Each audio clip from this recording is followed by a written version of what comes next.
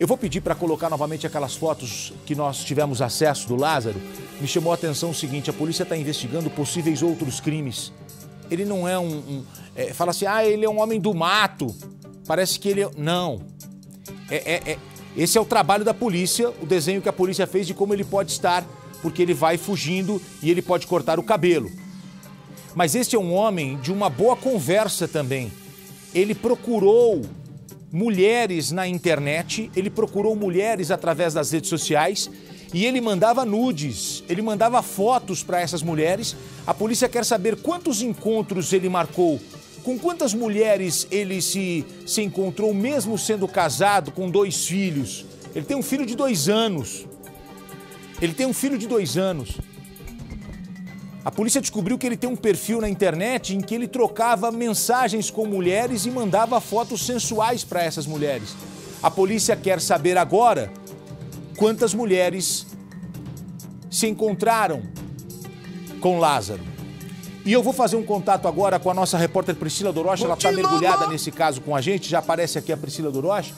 A Priscila Dorocha acompanhou de perto a entrevista coletiva do secretário de Segurança Pública que falou coisas relevantes neste momento. Uma delas que me chamou a atenção, Priscila, que as pessoas têm que sair de casa. Se possível, se você tiver para onde ir, não fique em casa, mude. Mude, pegue suas coisas e vá para casa de parentes. Ele disse isso. Se possível, que as pessoas saiam de casa, se tiver essa possibilidade.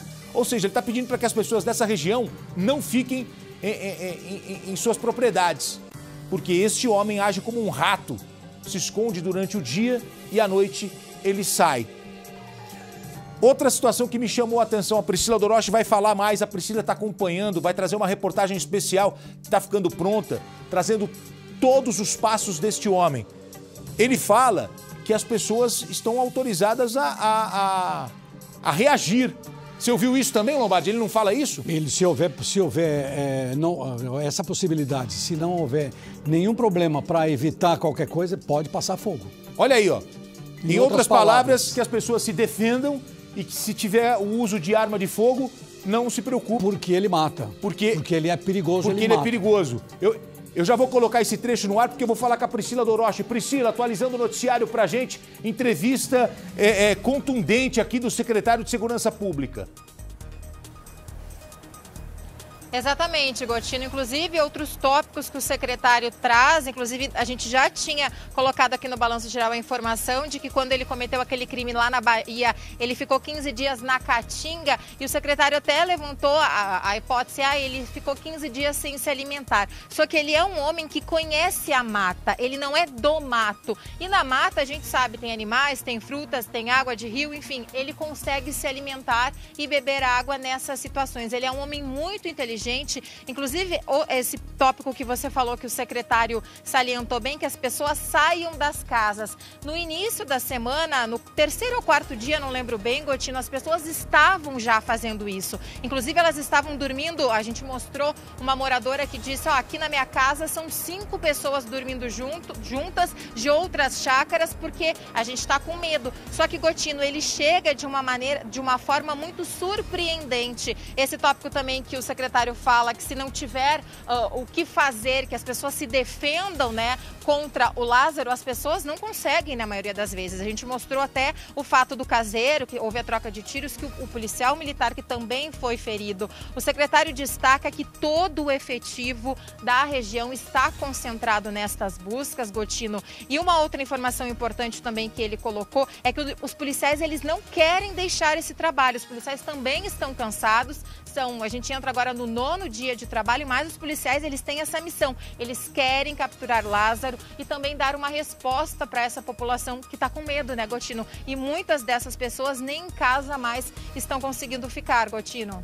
Olha, Priscila Dorocha atualizando o noticiário, eu vou colocar no ar para vocês o trecho que o secretário Rodinei Miranda fala sobre é, é, essa questão da defesa das pessoas que estão nas é, propriedades rurais. Vamos ouvir na região da área rural aqui, né, de Cocalzinho de Goiás. Qual que é a orientação da Secretaria de Segurança Pública para essas pessoas aqui da região? Se possível, se possível, chame a polícia para a gente poder fazer o confronto, Mas se não houver outra alternativa, tem que se defender. E a gente não vai impedir a população de se defender.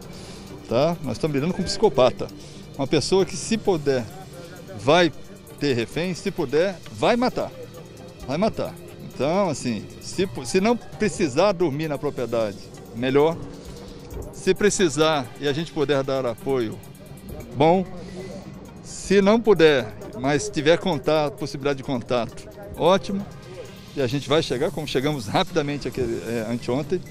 Agora, se tiver, se tiver algum meio de defesa, a gente não pode recomendar ninguém a ter o, o, a esse direito de se autodefender. Só, só digo uma coisa, chequem, chequem para ver se é o sujeito. Porque isso, esse cuidado nós estamos tendo inclusive com, com nossos policiais extremamente experimentados. Por isso que eu avisei vocês aqui no início. Né? Chequem.